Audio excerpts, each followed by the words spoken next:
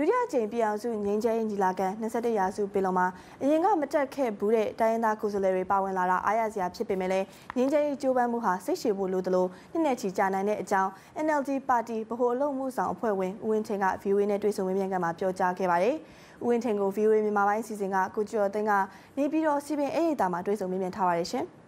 ။အခုနောက်ဆုံးကြားတာကတော့အရင်တော့ကမတက်ဘူးဆိုတဲ့ပုံကိုယ်တွေကတက်ဖို့အတွက် သဘောတူလိုက်ပြီဒီညနေမှသတင်းရတယ်သတင်းရတယ်အသေးစိတ်ကတော့တတတင်ဝင်းကြီးကြားရထုတ်လိုက်မှထင်တယ်အနေဆုံးနေမယ်ဆိုလို့ရှိရင်တော့ NCA ကိုလက်မှတ်ထိုးမဲ့အဖွဲ့တွေပုံများလာဖို့ဟုတ်အဲ့ဒီမှာများလာပြီဆိုရင်ကျွန်တော်နိုင်ငံရေးဒီမူပေါင်းနေချမှတ်ပြီးတော့အဲ့ဒီမူပေါင်းတွေကိုဘယ်လိုဆက်ပြီးတော့အကောင့်ထဲဖော်မလဲဆိုတာကိုဆွေးနွေးရမှာဆိုလက်ရှိသွားနေတဲ့ငင်းချမ်းရေးလုပ်ငန်းစဉ်ဒီလက်ရှိဒီနေ့ဒီကနေ့အချိန်က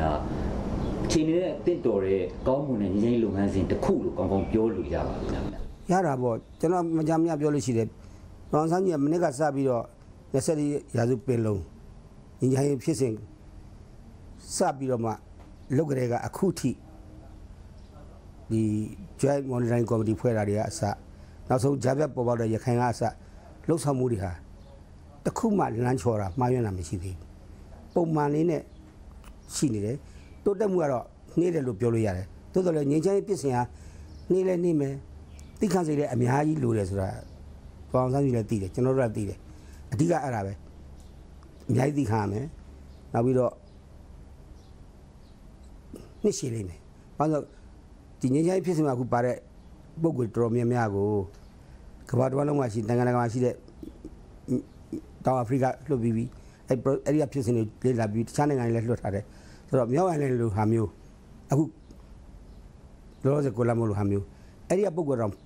ပြင့်ပြီးတော့ဒီမှာ workshop တွေလုပ်တယ်အဲ့တော့ဟိုကအခြေအနေနဲ့ကျွန်တော်တို့အခြေအနေတူတာတွေရှိတယ်မတူတာတွေရှိတယ်အဲ့တော့သူတို့ရှိကနေပြီးတော့ကျွန်တော်နီးရွာမယ့်ဟာတွေလည်းရှိတယ်ဆိုတော့ခုနကကျွန်တော်နောက်ဆုံးသုံးသပ်မယ်ဆိုရင်တောက်လျှောက်အခုထိလုပ်ခဲ့တဲ့တမှာစိတ်ပြအာရောစရာဘာမှမရှိဘူးတိုးတော့ထောက်ပြလို့ရတာကပြီးခဲ့တဲ့ကာလတွေမှာတိုက်ပွဲတွေဖြစ်တယ်အဲ့ဒါမြောက်ပိုင်းမှာတိုက်ပွဲတွေဖြစ်တယ် ချို့နေရာမှာတိုက်ပွဲတွေဖြစ်တယ်ကျွန်တော်အားမငယ်စိတ်လည်းစိတ်တက်လည်းမကြောက်ဘာကြောင့်လဲဆိုတော့ဒီမိုလမ်းချင်းစဉ်ကိုကျွန်တော်နှစ်ပေါင်း30နီးနီးလုံးဝပိတ်ဆို့ခံပြီးတော့အဖိလိတ်ခံရတယ်ပြီးတော့ဒီရှင်တွေရောက်တယ်ဆိုတာဟာဟိုတော့ပြောယုံနိုင်စရာမရှိဘူးအလားတူပဲငင်းချမ်းရဒီရှင်တွေကတချင်ငင်းချမ်းရမှလို့ပြောရင်တချို့လူတွေယုံမှာမဟုတ်ဘူးဒါကျွန်တော်ကယုံတယ်ဖြစ်ကိုဖြစ်ရမှာ ဆိုတော့ဒီငင်းချမ်းရေးလုပ်ငန်းစဉ်နဲ့ပတ်သက်ပြီးတော့အခုဝေဖန်နေတဲ့လူတွေရှိပါတယ်ဟိုရှေ့စောပိုင်းနောက်ဆိုမတက်ဘူးလို့ပြောတဲ့လူတွေရှိတယ်ဆိုတော့ဒီလူတွေဝေဖန်တဲ့လူတွေထောက်ပြတဲ့လူတွေမတက်ဘူးလို့ပြောတဲ့လူတွေပေါ့ကောဘယ်လိုသတင်းစကားမျိုးပြောကြမှာလဲ